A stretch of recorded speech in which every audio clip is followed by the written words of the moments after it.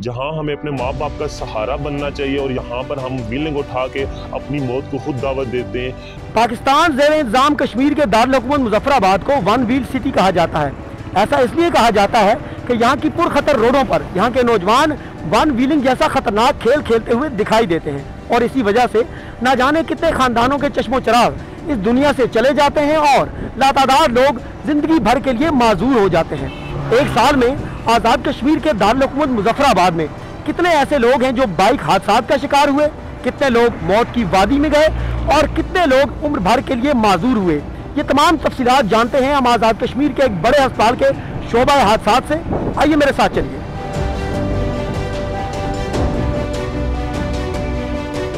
इस साल में हमारे पास ऑलमोस्ट अगर हम सिर्फ़ इस मंथ का डेटा लें ऑलमोस्ट 250 पेशेंट्स आए हुए हैं आरटीएस के, जो कि bike accident specifically bike accidents हैं। आरटीएस उनको मैं रेफ़र कर रही हूँ इस वक्त।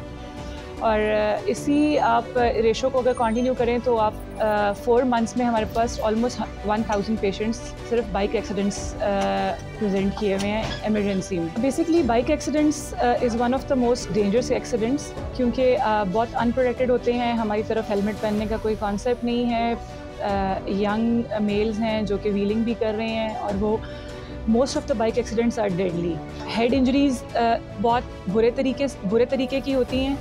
और उनका जब तक वो हॉस्पिटल पहुँचते हैं at times they are dead या एट टाइम्स वो इतना स्वेयर ब्लीड किए हुए होते हैं एट टाइम्स इंजरीज इतनी डीप होती हैं कि पेशेंट अल्टीमेटली वेंट्स पे जाते हैं क्वालिटी ऑफ़ लाइफ मुतासर हो जाती है वो परमानेंटली uh, पैरालाइज हो सकते हैं परमानेंट परमानेंट डिसेबिलिटीज़ में जा सकते हैं. ये बात है कि ये सिर्फ़ मैं आपको सिंगल हॉस्पिटल डेटा दे रही हूँ ये सिर्फ़ एम्स का डेटा है जो मैं आपको दे रही हूँ जो हमारे पास रिकॉर्डेड डेटा है अगर आप सारे हॉस्पिटल्स को लें या बहुत सारे पेशेंट्स ऐसे भी होते हैं जो ऑन रोड ही एक्सपायर हो जाते हैं, वो हॉस्पिटल तक रीच ही नहीं करते हैं तो अगर आप उन सारी चीज़ों को एडअप करें तो it can like be a lot more than four एक आम मोटरसाइकिल को वन व्हीलिंग के लिए तैयार करना भी एक फ़न है, लेकिन ये फ़न सरेआम नहीं आजमाया जाता। पुलिस की कार्रवाई के डर से ये काम चोरी छुपे किया जाता है।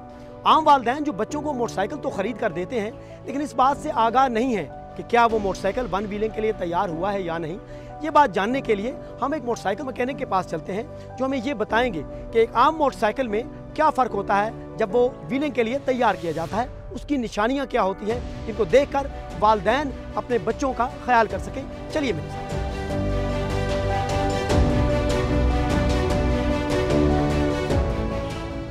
व्हीलिंग वाले जो बच्चे तैयार करवाते हैं, पहला ये है कि उसका वेट कम किया जाता है। वेट इस तरह कम किया जाता है। सबसे पहले जो है उसके मीटर्स वगैरह उसके उतार देते हैं, हेडलाइट उसकी उतार के उसकी छोटी सी एलईडी लगा देते हैं। मडगार्ड अगले वाला वो उतार देते हैं, उतार के और डेकोरेशन वाला छोटा फैंसी मिलता है, वो लगाते हैं उसको। सलेंसर जो इसका अपना वेट वाला होता है, वो वाला उतार के तो उसको दूसरा साउंड वाला सलेंसर, वो हल्की क्वालिटी का होता है, साउंड उसकी ज़्यादा होती है, वो लगवा देते हैं। टैंकी टापे इसके जो ओरिजिनल होते हैं, वो इसके अतवा के चाइना के टेंकी टापे लगाते हैं, वो बिल्कुल वेट में बिल्कुल हल्के होते हैं। रियर मडगार्ड की भी यही कंडीशन होती है रियर मडगार्ड या तो वो बिल्कुल उतार देते हैं उसको, उतारने के बाद उसके पीछे एक छजा नमा नंबर प्लेट के साथ एक छजा नमा शेड लगाते हैं ताकि वो कीचड़ वगैरह ऊपर ना आए। इसी तरह उसके इंडिकेटर्स वगैरह जितने भी होते हैं, वो सारे के साथ, यानी कि उसको बिल्कुल साइड टापे वगैरह उसके तार, बिल्कुल उसको इतना कर देते हैं, कम से कम उसका वेट जो है, वो 10 से 15 के जी उसका वेट जो है, वो कम किया जाता है। यानी जितना मोटरसाइकिल का वेट कम किया जाएगा, उतनी वन व्हीलिंग में उनको आसानी होती है बच्चों को। तो उसमें वालदेन के लिए सबसे पहली शनाख्त यही है कि अगर आपने बच्चे को जिस कंडीशन में लेके दिया हुआ है मोटरसाइकिल अगर उस कंडीशन में ओरिजिनल जेनवन कंडीशन में है तो ठीक है। अगर उस कंडीशन में नहीं है तो डेफिनेटली आपका बच्चा जो है, वो वन व्हीलिंग करता है और रेसिंग करता है, या जो भी उसके जो मामला जो होते हैं ऑन रोड होते हैं बच्चे के लिए, वो सब के सब उसके लिए नुकसानदेह होते हैं। वन व्हीलिंग के इस खतरनाक खेल में एडवेंचर के मज़े के साथ साथ पैसे की हवस भी शामिल है।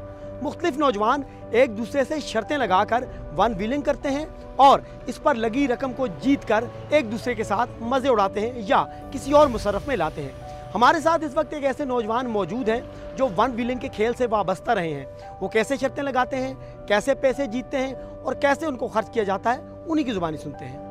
अभी तो आपको मैं बताऊँ तो मैं व्हीलिंग तो छोड़ चुका हूँ और बेसिकली अभी पीछे एक हादसा हुआ है जो मैंने देख कर तोबा किए। और मैंने अपना मोटरसाइकिल भी बिल्कुल सीधा करवा दिया है। मैंने ये व्हीलिंग का जो शौक़ था, वो मुझे फेसबुक से पड़ा था। सोशल मीडिया पे मैंने व्हीलिंग्स के देखे लोगों के साथ और मेरे दोस्त भी काफ़ी व्हीलिंग करते थे और मुझे भी बड़ा शौक़ पड़ चुका था कि मैं भी व्हीलिंग करूँगा।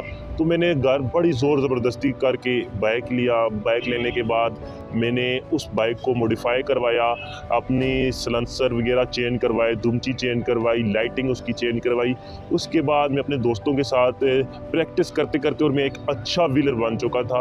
उसके बाद पढ़ा मैंने व्हीलिंग की, बहुत पैसा कमाया, बड़ी शर्तें लगाई और वो घर में हम पैसा ज़्यादा यूज़ नहीं करते क्योंकि घर में हमसे पूछते हैं कि ये पैसा किधर से आया और हम तो वहाँ पर बता नहीं सकते, इसीलिए हम अपने दोस्तों के साथ अयाशी करके आते हैं। आल आज़ाद कश्मीर, पूरे आज़ाद कश्मीर के अंदर और बिलखसूस मुजफ्फराबाद के अंदर हम वन व्हीलिंग के अगेन मोटरसाइकिल बदू हेलमेट के टीन एजर मोटरसाइकिलिस्ट के ख़िलाफ़ बिला तफरीक अक्रॉस द बोर्ड आलमोस्ट रोज़ाना की बुनियाद पे हम उनके ख़िलाफ़ कार्रवाई करते हैं। हम जनरल होल्ड अप करते हैं, हम नाकाबंदियाँ करते हैं, हम उनके ख़िलाफ़ स्पेशल कार्रवाई करते हैं। क्योंकि बच्चे ज़्यादा अपने पेरेंट्स के पास होते हैं, अपने पेरेंट्स के पास अपने भाई का अपना ज़ाती मोटरसाइकिल ले वो घर से बाहर निकलते हैं तो पेरेंट्स की ये ज़िम्मेदारी बनती है कि वो उनको जब किसी काम पे भेजें तो उनकी वो टाइमिंग नोट कर लें, उनका पीछा करें, उनकी निगरानी करें।